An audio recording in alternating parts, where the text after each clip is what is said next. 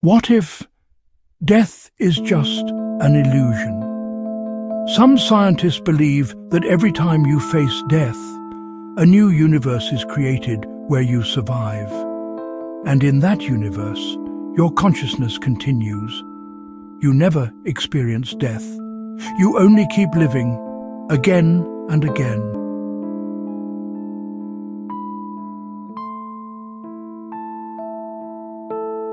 This is called quantum immortality, a theory that suggests you might never truly die, just move to the next version of reality.